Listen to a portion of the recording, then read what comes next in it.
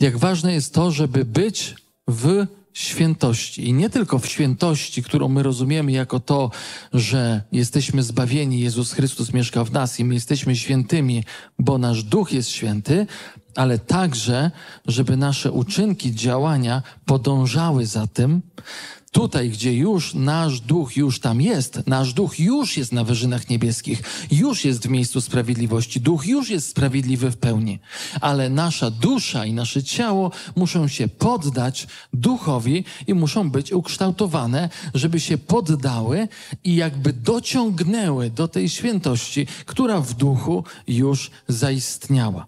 I dlaczego o tym mówię? Chcę Wam podać taki przykład, który mnie bardzo zasmucił. Był taki ewangelista, Jimmy Swaggart. Pięknie głosił Ewangelię, pięknie grał na fortepianie, pięknie śpiewał, tłumy się nawracały na jego spotkaniach. Ale miał pewną słabość. Słabość polegała na tym, że po krucjacie ewangelizacyjnej dzwonił na odpowiednią linię telefoniczną i zamawiał sobie dziewczyny do pokoju. I Bóg z takimi rzeczami stara się radzić sobie z taką osobą na osobności. Duch Święty go na pewno upominał wiele razy. Ale Jimmy Swaggart nic sobie z tego nie zrobił. I przyszedł taki moment, jeżeli Bóg nie potrafi sobie poradzić z tobą na osobności, wtedy spodziewaj się, że to, co chcesz ukryć, będzie rozgłoszone całemu światu. I któregoś dnia cały świat się dowiedział. Przed kamerami płakał, łzy mu leciały ciurem i mówił: Panie, tylko przed Tobą zgrzeszyłem. Pokutował. Wydawało się, że jest już dobrze. Kilka miesięcy później policja stanowa zatrzymała go na autostradzie zupełnym przypadkiem. Jechał z prostytutką.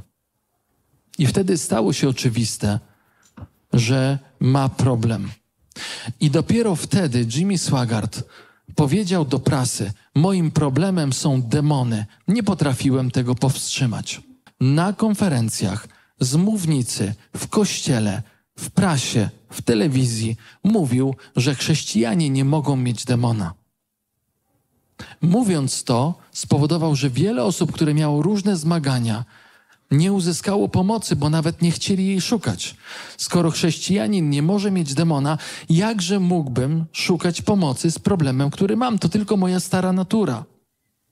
Ale jeżeli stara natura nie daje się okiełznać w żaden sposób, jeżeli chrześcijanin walczy z nią i próbuje ukrzyżować, ale ona ciągle powstaje i ciągle jest jakiś problem, w nim jest jakieś zmaganie i działa kompulsywnie w pewnych dziedzinach.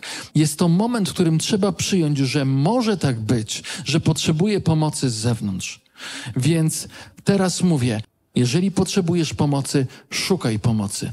Nie pozwól, aby przeciwnik trzymał cię w zniewoleniu. Amen.